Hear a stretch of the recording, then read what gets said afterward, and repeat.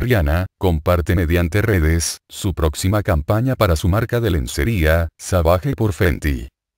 La cantante, de 33 años, ha hecho y compartido mediante las redes, lo nuevo de su próxima campaña de lencería, para Savage por Fenty.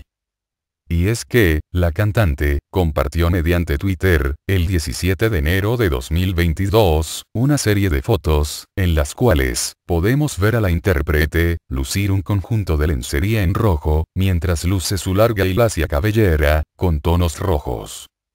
Riri, también, compartió fotos, en donde la podemos ver, mientras posa, con lencería de encaje, en un tono rosa, con dibujos florales. En el tweet, se puede leer la frase. San Valentín, es para mí. Pero puedes mirar.